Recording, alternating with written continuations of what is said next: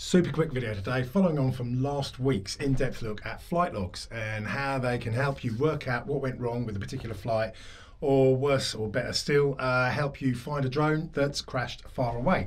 Doesn't matter whether you're using the uh, Mini 2, Air 2S, or Mavic 3, or whatever make or model. Sometimes things go wrong, and it can be incredibly useful to find out what happened so you can take steps to make sure it doesn't happen again. And that is where checking your flight logs and replaying the flight can come in so handy especially if those logs have been automatically uh, uploaded for you and synced for you so that you can take a look right away on your phone or back inside on, on the big screen. So look, a lot of you getting in touch, commenting how you'd already been using AirData, uh, airdata.com and how useful you find it. So it was quite a nice little bonus this week for me as AirData themselves have got in touch with me uh, liked last week's video and have now offered a discount for anyone to get 20% off any of their HD 360 plans.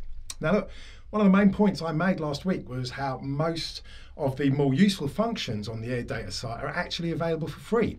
As long as you can cope with the odd advert, you get all the data, the notifications, listings, and the full high def animated playback of your flight uh, on, on the free plan.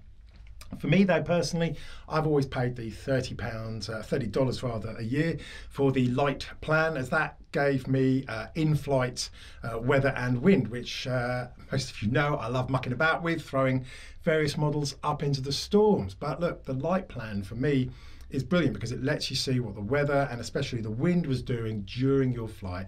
Lets you see how the wind was behaving and how it increases with your altitude, which I always think is um, very surprising at just how stronger the wind is up there. So, in truth, for hobbyists flying one or two models, I personally think the light plan or the next one up, the gold plan, are probably the best ones to be honest.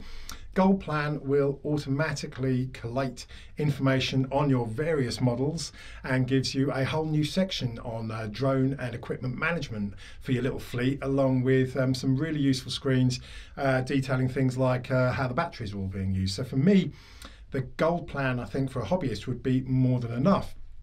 But for those commercial flyers out there, then you've also got the Pro or the Enterprise plans, and they may well be more useful for logging multiple pilots and even managing uh, flying trends of the different pilots and the models being flown, as well as a fair few specialized functions. But look, I will post a link below for the various plans, as I said, for individuals, hobbyists then the free version, the light or the gold plans are almost certainly going to do you absolutely fine and will give you a wealth of information and you will learn truckloads from looking back. So look, um, even better now, using the little discount code of Ian in London 20, you will get 20% off your first payment, which means you will get the best deal and the biggest discount if you pay for an annual plan. So um, that's it. Said I'll put the link below.